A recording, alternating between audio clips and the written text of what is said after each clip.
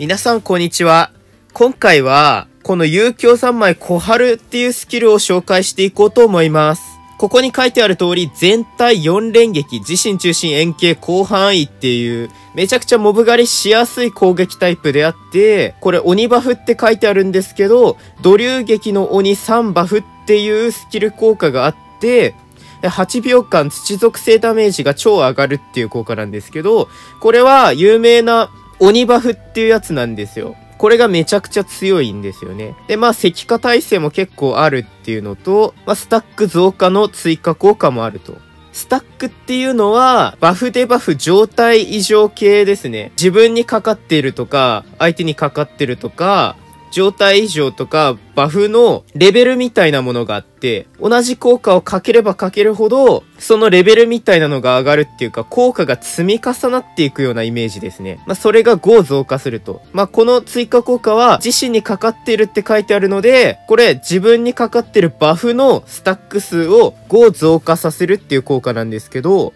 例えばこのステイクール友情っていうスキルは、スイッチを使うたびに、40秒間自分に防御力上昇のスタックバフを付与するんですよ。だからこの氷結の盾4を発動して40秒間この効果が働いていて、この40秒以内にもう一回スイッチを使うと同じこの効果が発動して、で、これ発動するとスタック10って書いてあるんですけど、1回発動でスタック10ついて、で、2回目の発動でもう1回スタックが10ついて20になって、このバフ効果中にもう1回同じバフを発動すると、そのスタックっていう数値が上がるんですよね。だからこれを発動すれば、そのスタックが5増加するっていう話です。で、覚醒効果もついてて、まあ、非戦っていう攻撃力が上昇するやつなんで、まあ、例えばクリティカル発生率が高くないとこの効果使えないよとかそういうのはないので、クリティカルダメージが上昇する覚醒効果もあるので、まあ、そういう何らかの条件下でしか発動しないとかそういうのはないので、まあ、汎用性は高いって言えば高いけど、まあ、こればっかりだと強いかどうかっていうのはまあ場面によるっていう話ですけど。で、有響三昧小春の入手方法なんですけど、これ俺が自分で立てたサイトなんですけど、この有響三昧小春の評価っていう記事を書いたんで、動画説明欄とかに載せておくので、よかったら見てもらえるとありがたいです。で、これ入手方法ここに書いてあって、常設スキルレコードっていうのがあるんですけど、まあ、常設スキルレコードっていうのは、あらゆるオーダーに共通して収録されているスキルなんですけど、例えば、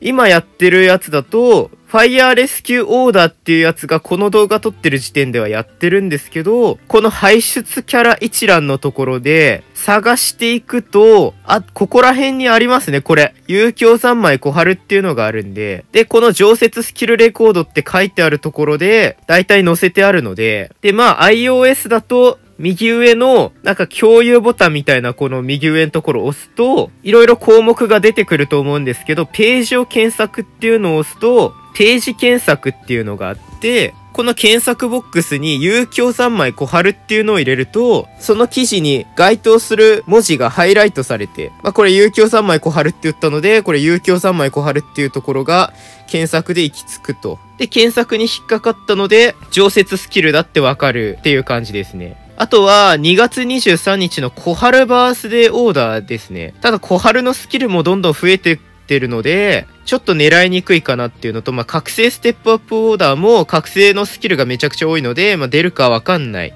あとは着物系のスキルがいっぱい収録されてるオーダーとか、まあ、いつ出るかわかんないんですけど、そういうのだったり、まあ、常設スキルなので、何らかのオーダーを引いてるうちに当たればなっていうのと、まあ、あとは、この無料オーダーですね。無料オーダーもちょっとこれ、有響三昧小春入ってるのと、今やってるやつだと、星4確定11連無料オーダー、これには入ってないみたいですね。まあ、無料オーダー普通の星4確定じゃない方で当たればっていうところですね。で、この有響三昧小春、何が一番いいかっていうと、この掲示板クエスト黒黒コンチェルトっていうのにめっちゃ使えるんですよ。40層ストーリーを全部クリアすると、あの掲示板、キャラクエストっていうのに、黒黒のコンチェルトっていうクエストが追加されるんですよ。左上メニュー、右下イベント一覧、で、下の方行ってクエスト掲示板へ OK ってやると、商業区の掲示板の前に来るんですよ。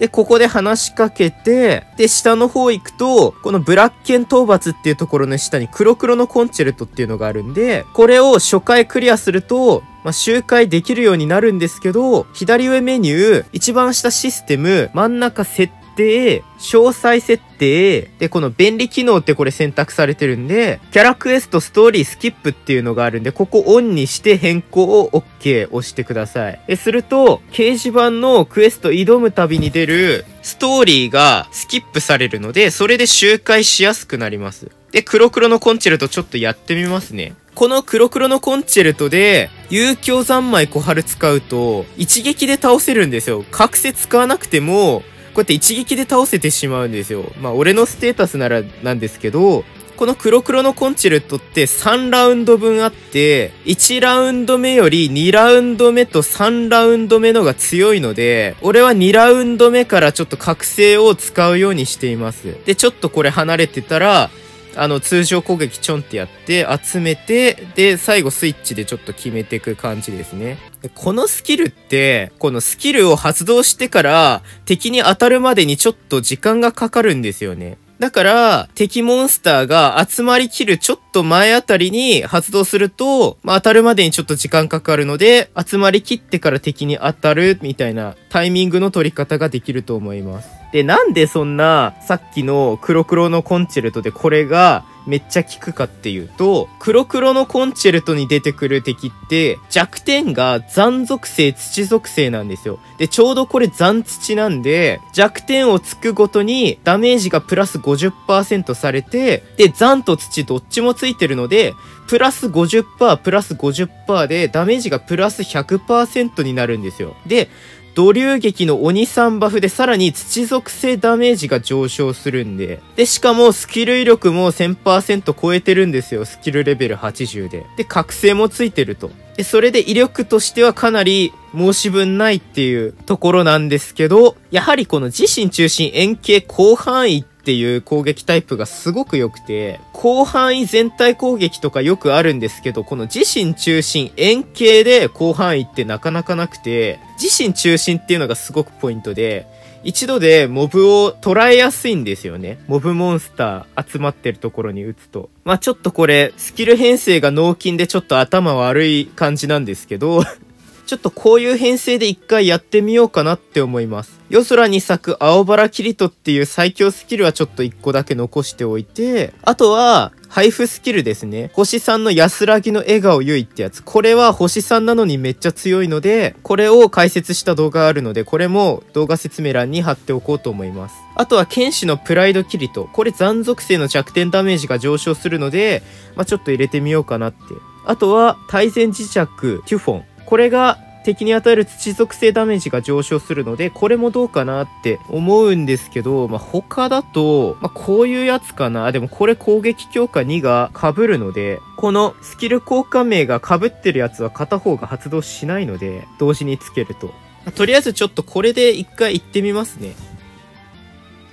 おそらくワンラウンド目は覚醒しないと一撃じゃ倒せないと思うんですけど、一回覚醒しないで撃ってみます。で、多分、あ、倒せますね。倒せますわ。倒せちゃいましたね。で、2ラウンド目からさすがに多分、覚醒しないと倒せないので、ちょっと覚醒して、まあ、ソードスキルの方にも覚醒スキル結構入れてるので、まあ、そっちは配布じゃないから参考にならないかな。まあ、どっちにしても結構、黒黒のコンチェルトって上級者向け、上級者っていうほどでもないけど、始めたばっかの人が挑むと多分、袋叩きにあってすぐやられちゃうと思うので、まあ、大体こういうスキル編成でも結構倒せてしまうよって話で、で、まあ、熟練度スキルとか上げてて、攻撃力が5800あたりなんで、俺くらいのステータスなら、こういう編成でも倒せるよって話です。以上で、遊興三昧小春のスキル紹介を終わりにします。ご清聴ありがとうございました。チャンネル登録してもらえると嬉しいです。では失礼します。